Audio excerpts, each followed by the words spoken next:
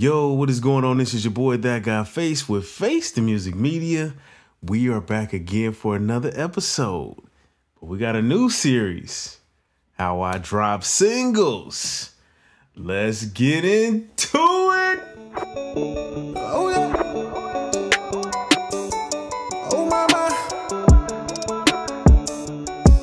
Oh yeah. Face the music.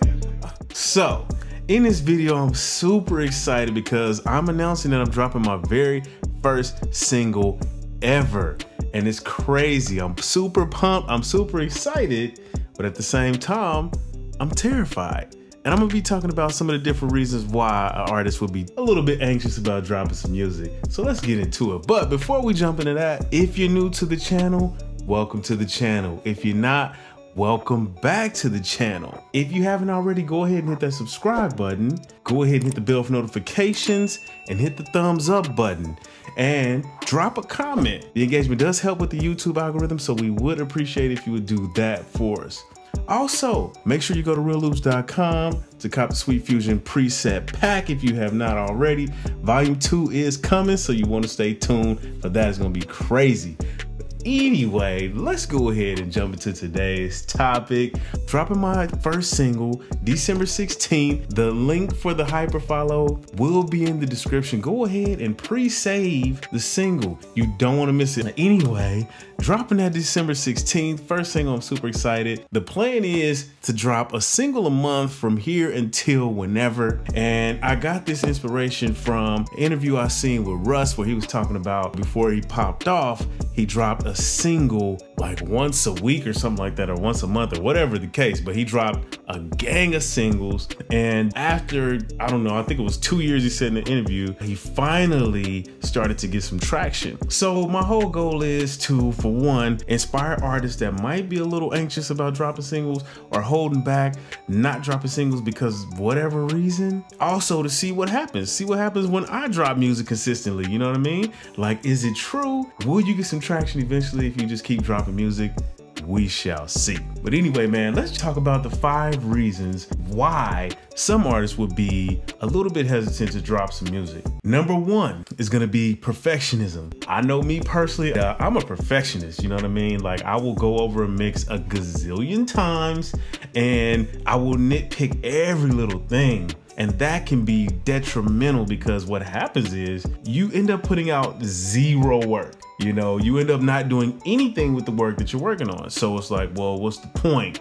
You know what I mean? Like you're gonna be a perfectionist for what? For yourself? No, you want to share the art, so you have to learn how to let go. This is one step in me accepting my art for what it is and letting go and putting it out there.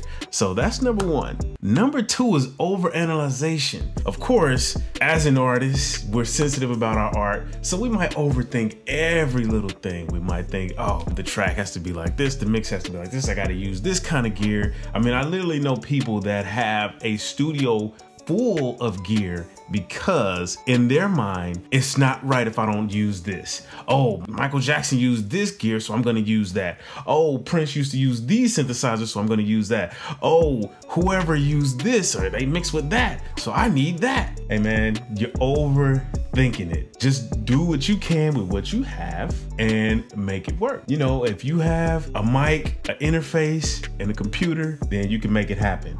By the way, my single that I recorded that's dropping on the 16, I literally recorded with just a um, Slate Digital VMS1 and a Apollo Twin Duo. No treatment in the room. It's not in this room that I'm in right now, but in the room I was in before, and this room doesn't have treatment either, but the room that I recorded in had no kind of acoustic treatment at all. It was so much reverb in the room, but I got the um, eyeball deal so that helped out big time.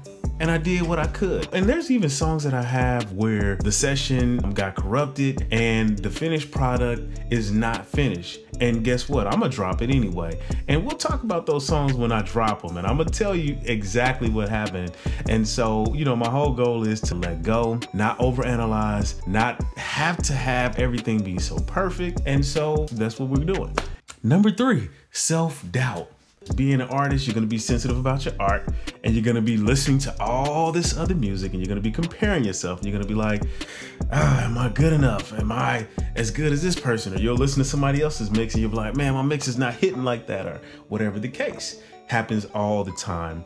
We hear other songs, or somebody you might have an artist that's a friend of yours, same town or whatever the case, and they share some music with you, and you're like, oh my God, they joint is slapping. I, back to the back to the drawing board. Yo, at the end of the day, you have to learn how to let go. Don't doubt yourself. You got to be confident. If you're not confident, people can tell and they will follow suit. You know what I mean? So if you're confident and you know that you have some heat and you know you got some fire, then everybody else will say, you know what?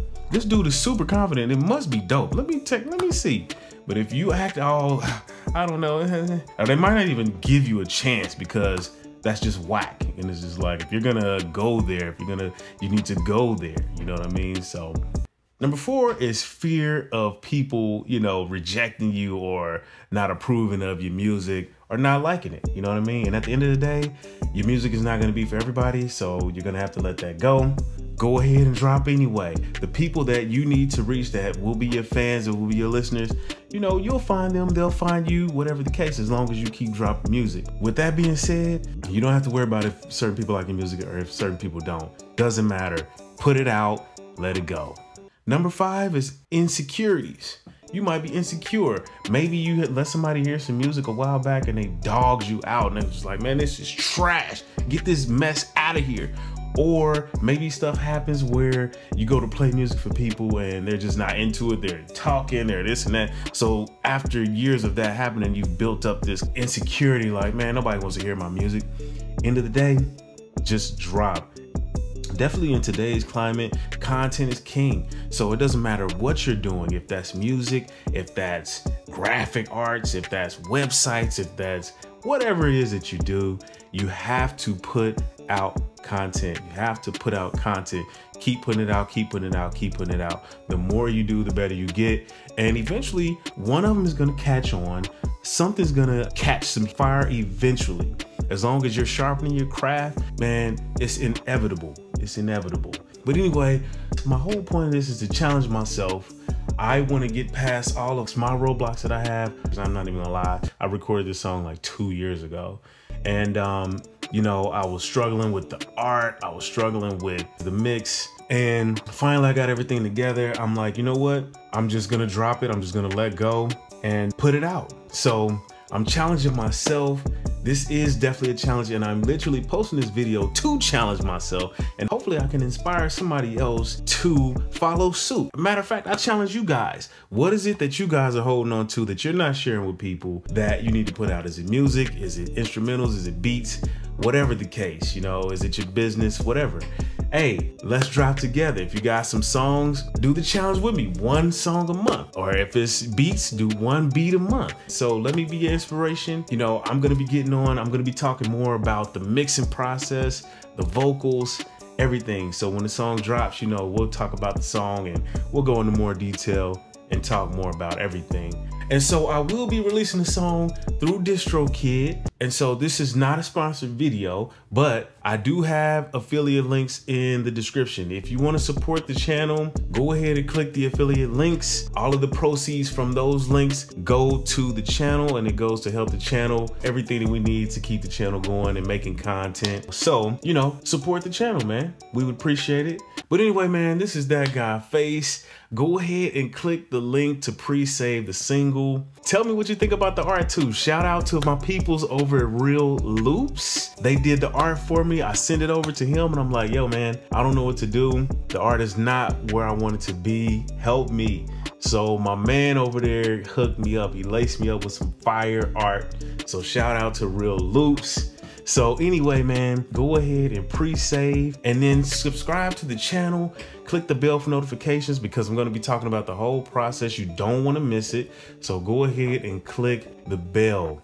Hit the thumbs up for this video too, man. If this inspired you, if you're dealing with anything like that, if you have some insecurities with your stuff, man, go ahead and drop a comment below. What do you think is one of the things that holds you up when it comes to releasing content? What is your hangup? Let's talk about it, man. Let's see if we can get past that so we can all grow together. You know what I mean? But anyway, man, this is that guy Face, Face the Music Media. We out of here.